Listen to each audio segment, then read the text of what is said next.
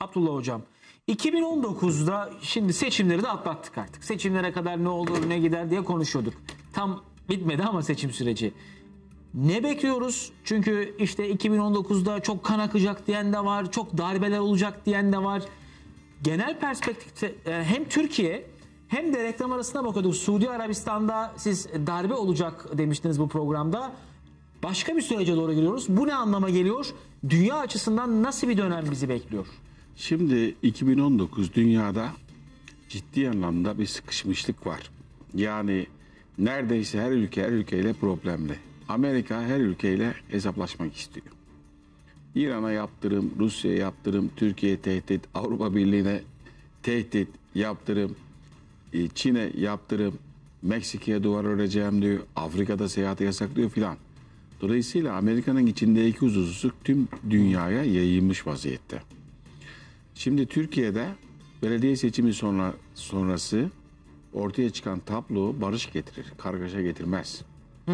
Bu önemli bir şey. Tabii. Kargaşa değil barış getirir. Barış derken yani küs değil millet ama bir gerginlik vardı. Daha uzlaşı, daha şey getirir. Neden? Çünkü şu ana kadar sürekli yenilen bir muhalefet vardı. Her seçimde yeniliyor. Yani her seçimde AK Parti, Cumhur İttifakı taraftarı davul zurna yaparken bu seçimde yapmadılar. Karşı taraf yaptı. Bu önemli bir şey. Yani çalışırsak, milleti anlarsak, seçmeni analiz edersek biz de kazanırız. Dolayısıyla bir uzlaşı, bir barış havası gelir. Barış derken yani toplumsal bir şey olmaz. Bir de şuna çok dikkat edelim biz. Hakikaten Türkiye kendi iç barış için devlet büyük emek sarf ediyor. Kanaat önderlerini arka planda tahmin ediyorum. İstihbarat bilgilerini de paylaştılar. Yani farklı yerlerde huzursuzluk çıkartan çocuklarını e, şey alması için. Çünkü Türkiye'nin bu kritik süreçte en önemli şey milli birliği. Şimdi kan akacak kan akacak demek bir noktada olumsuz konuşma olumsuzluğu getirir ve negatif şeyi enerjiyi getirir. Şimdi biz Araplar gibi değiliz. Bakın Cumhuriyet e, Kurtuluş Savaşı'mızda her taraf birleşti. Değil mi? Her taraf birleşti. Liderinin arkasında savaştı. Değil mi? Cumhuriyet e, şeyinde. Araplara bakın birleşen yok. Herkes birbiriyle kavgalı. Türkiye farklı. Bunun geleneği de Osmanlı'da da böyle. Selçuklu'da da böyle. Yani bizde bir emir komuta anlayışı var hala. Bu değişmiş değil. Dolayısıyla oluk oluk kan akacak filan bunlar çok sağlıklı düşünceler olduğunu düşünmüyorum. Şimdi şöyle bir senaryo. Efendim ekonomik kriz olursa doğal olaraktan gerginlik, halk kışkırtmaya daha müsait ama Türkiye şunu gördü. Suriye'de öyle bir ekonomik kriz filan falan yoktu. Ama Batı geldi ayaklanmayı çıkarttı mı? Çıkarttı. Sonuçta ne oldu? Akdeniz'in sularında binlercesi eee boğuldu. Kadınlar tecavüze uğradı, kocalar öldürüldü, çocuklar sakat kaldı. Avrupalılara kaçmak zorunda kaldılar. Hakeza Yemen'de öyle, hakeza Libya'da öyle, hakeza Irak'ta öyle. Bakın Musul, Kerkük, Türk şehirleri yıkıldı resmen. Bu, bu batıdaki adamlar öyle gelişi güzel değil ki yıkıcı bu adamlar. Türkiye Suriye'de yapıyor, inşa ediyor, hayat veriyor. Bu adamlar yıkıp geçiyor. Arkasına dönüp bakmıyor. Bakın Kerkük'ün, Mısır'ın, Halep'in bunlar Türk şehirleri hali. Dolayısıyla Türk milleti bunları gördü. Zaten canlı yayında gördük. Ve Türkiye'deki sığınan Suriyelilerin toplumsal ciddi bir huzursuzluk görüyor. Bunları da görüyoruz. Kalkıp da Türkiye içinde birbirine düşecek bir millet yok. Peşine söyleyeyim. Oluk oluk kan akacak diyene komşusu onu dövebilir o ayrı bir şey. Öyle bir kan akarsa bizi çok da ilgilendirmez. Burada devlet bu stratejik hesapları Batı'nın Türkiye içinde kışkırtmasını net bir şekilde görüyor. Bizim milletimiz her şeye rağmen son kızgınlık şu bu olabilir ama son noktada herkesin bir evi var, ailesi var, iyi kötü sofrasında ekmeği var. Ama bakın bu saydığım coğrafyada ekmek yok. Doğru. Dolayısıyla yine bir öykü şey, internette okumuştum. Bir arkadaş göndermişti. Birbiriyle kavgalı iki kişi Irak'ta. Irak'ta birbiriyle kavgalı iki kişi bir Saddam tarafı bir diğer tarafı e, e, şey, aynı yerde dilenirken Türkiye'de dilenirken bir araya gelmişler. Yani keşke yapmasaydık diye. Şu an hepsi Ya, pişman. Bu nedenle Evet, bu bu olayı olayı da okumuştum. seçim o aldı bu aldı. Şimdi sosyal medyadaki problem şu. Tüm dünyada sadece Türkiye'de değil sosyal medya üzerinden dijital dünyada yetişen gençlik öğretmenlere bunu sorabiliriz merak eden seyircilerimiz. Çevreye karşı duyarsız. Çünkü beyne yoğun operasyon var. Sürekli çizgi film, bilgisayar oyunu, internet sürekli film izliyor. Realden kopuk bir gençlik geliyor. Bu tüm dünya için problem. Bu gençler istediğin yeleğe giydir. Bunun için yelekli filan falan bunlar çok tehlikeli şeyler. Bu yeleğe koyup da tehdit edene bu devlet asla rol de vermez. Bunu bilsinler. Vermez. Kalkıp da öyle bir şeye. İşte Selahattin böyle tehdit ediyordu. Demirtaş nerede şimdi? Cezaevinde. Hapiste. Her şey yapabilir ama devleti yelekle kimse tehdit edemez. Ederse direkt hapse gider. Hiç şüphesi olmasın. Yani dolayısıyla burada seçmenin oyunu seç- seçimlerde zaten devlet süreç yürüyor. Nasıl olursa olsun. Bizim dikkat etmemiz gereken şey var. Biz hakikaten korkuttuğumu falan zannetmesinler. Türkiye şu an için sıkıntılı bir durumda. Yani dünya sıkıntılı bir durumda. Bu Türkiye bizim bizim çevremizde. Yani S-400'ler, F-35'ler Şimdi S-400 bakın. Şimdi S-400'ü ve- ve Rusya'dan almayın. Niye almayacağım?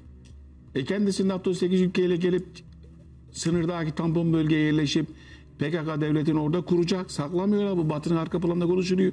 Adım adım kuruyor her geçen gün. Yok çekiliyorum dediler Amerikalılar sonra 400 asker kalsın. Sonra bir asker kalsın. Ama diğer taraftan sürekli silah yığıyor oraya. E bu da bu, bu, bu, bu yılda netleşecek. Yani Kuzey Irak'ta öyle bir özel Kürt bölgesini böyle oluşturmadılar mı? Bölmediler mi Irak'ı? Evet, Şimdi Suriye'de aynısını yaşıyor muyuz? Dolayısıyla niye almayın diyor. Temel neden şu. Efendim NATO ile uyumlu değil. Uyumlu da olmak zorunda değil. Türkiye bunu söylüyor zaten. E Amerika silah pazarını kaybedecek. Türkiye Amerikan silah pazarı. Evet. Bir de diyorlar ki Amerika'nın hasımlarına ekonomik yaptırım kararı var. Kongrenin aldığı. Yaptırıma düşersiniz diyorlar. Bunların hepsi hikaye. Kongre bir karar alır. Daha değiştirir eğer isterse. Temel şey şu. Bu adamlar bu bölgeye gelecekler.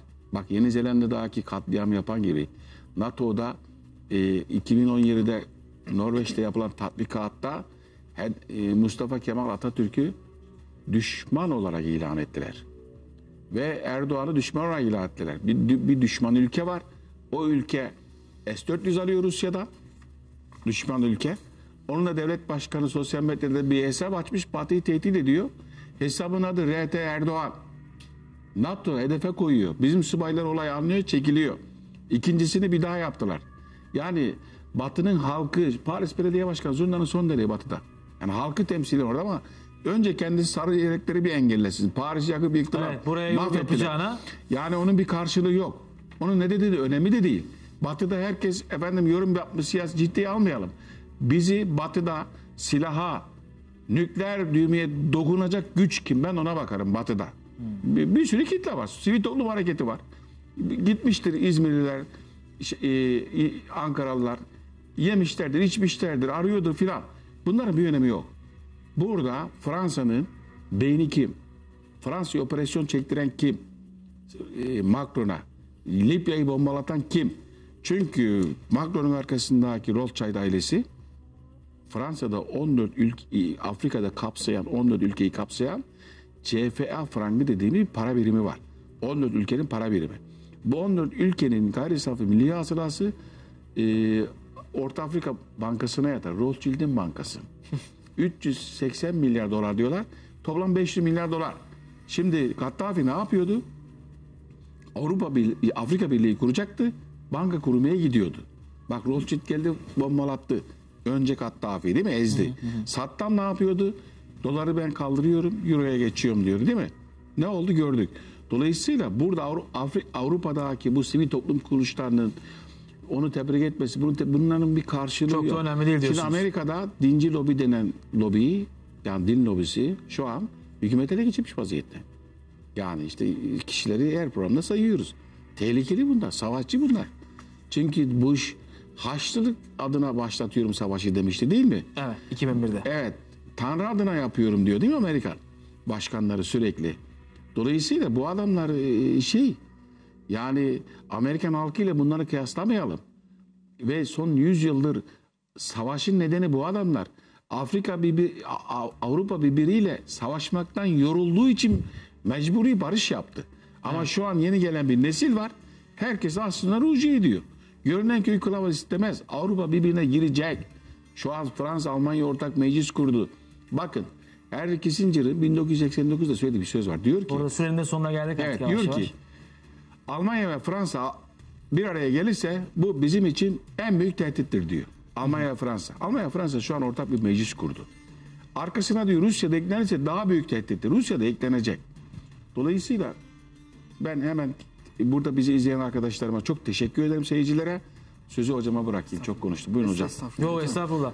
Evet. Ee, hocam buradan size de hem onu sorayım ve programı bitirelim artık. Tamam. Çünkü BBC Ekrem İmamoğlu'nun verdiği bir röportajda Türkiye'nin bir sonraki Cumhurbaşkanı siz misiniz sorusuna God knows yani Tanrı bilir Allah bilir şeklinde cevap veriyor. BBC bu soruyu neden soruyor olabilir en Bunların başta? hepsi taşın üstüne taş koymak. Onunla Hepsi bitirelim artık, birkaç taş dakika. koymak. Abdullah hocamın söylediği gibi bu- bunların kurguladığı dizayn yürüyor.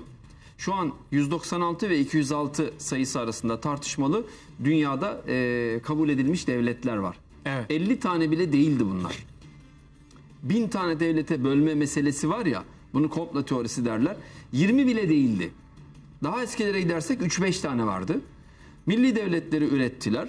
Daha sonra imparatorlukları parçalattılar.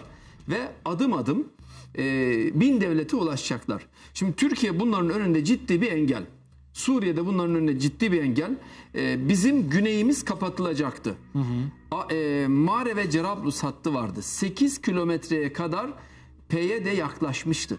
Biz Ruslarla yeniden aramızı iyi ettikten sonra biz Elbap operasyonuna giriştik. O 8 kilometreyi bir aştık. Daha sonra Afrin aldık. Şimdi Afrin ve Elbap'ta biz bulunuyoruz. Bir toprak üzerinde bulunuyoruz manasında bir kazanım değil sadece bu. 8 kilometre kalan siz buradan ne kadar diyelim e, Galata kadar yani Galata Köprüsü kadar bir mesafe bitmişti. Sizin güneyinizde bir PYD devleti kurulacaktı. Yani bunlar bunu yapacaktı. Bizim Türkiye ile şey Amerika ile ve Almanya ile ilişkilerimiz o kadar iyiydi ki o zaman. Hatırlayın Merkel çorba içmeye neredeyse buraya geliyordu. John Kerry ile efendim e, günübirlik görüşmelerimiz yürüyordu o zamanlarda. Ama onlar bir yandan da bizim güneyimizi kapatmaya devam ediyorlardı. Şimdi onların planları yürüyor. Yapacaklar ve yapıyorlar. Burada bizim işte kendi içimize düşüp enerjimizi tüketmememiz lazım. Bu S-400 meselesinde Türkiye'nin kendisini garantiye alması lazım. Yarın Türkiye'ye yapılacak operasyonları bu S-400'ler engelleyecek. Yani siz bunu yapmayın diyor. Bizim Malatya'da ve Kahramanmaraş'taki füze sistemlerini bunlar boşa çıkarmadılar mı? Birinci Dünya Savaşı'nda Kıbrıs Harekatı'nda parasını ödediğimiz gemilerimizi bize geri iade etmediler. Parayı da vermediler Birinci Dünya Savaşı'nda ödediğimiz parayı. Lozan'da onun üzerinde bize çizgi çektirttiler. Evet. Şimdi karşımızda bize defalarca düşmanlık yapan bir blok var. Efendim. Fakat bunlar dik duran Türkiye karşısında hiçbir şey yapamazlar. Az önce bir şey söyledim. Bunu bir daha tekrar edeyim ve bitireyim. Nedir o? Biz Amerika'ya diyoruz ki ey Amerika alo çekilecektin hani niye çekilmedin? O artık unutuldu Yani galiba. bunu şunun için söylüyorum. Amerika buna itiraz etmiyor. Böyle durumdayız. Amerika'ya sen çekilecektin, niye çekilmiyorsun diyebilecek bir yapıya ulaştın mı şimdiye kadar Türkiye Cumhuriyeti tarihinde? Amerika bunu bizden korkusundan mı yapıyor? Biz Ruslarla işbirliği içerisinde olduğumuzdan dolayı Amerika gittikçe zemin kaybediyor. Daha da kaybedecek. Dolayısıyla Türkiye'nin bu müştereklikten uzaklaştırılması lazım. Ama Türkiye öyle kolayın uzaklaşacak değil. Bugün Amerika yine siz NATO'yu zayıflatıyorsunuz şeklinde Trump, NATO'yu zayıflatıyorsunuz. NATO'dan çıkabilirim diyen Trump. Böyle açıklama yapıyor. Evet. Türkiye buna karşılık bir açıklama yaptı. Hocam sürenin sonuna geldik artık. Evet. Çok teşekkür ederiz değerli yorumlarınız için.